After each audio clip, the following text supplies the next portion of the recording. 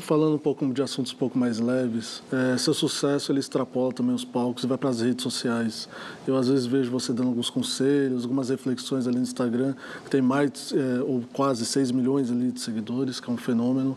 É, eu queria entender como que é para você, é, que já de uma outra geração, né? Se atualizar com respeito a isso, que é de um Instagram ou de redes sociais que vai muito além do que só divulgar shows, mas se mostra o seu dia a dia em muitos momentos, e se isso já se tornou algum problema no seu dia a dia, ou como você lida com, com tudo isso? É, para mim não é um problema, não vejo como um problema, nunca vi e não é de fato um problema para mim.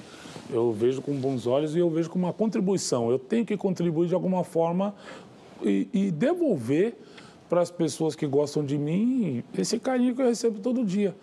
É, eu faço as mesmas coisas que eu fiz, eu vou em shopping, eu vou no mercado e só demora um pouco mais. Mas é talvez o seu principal canal, então, com seus fãs, por é, assim dizer? A rede social tornou todo mundo muito mais próximo.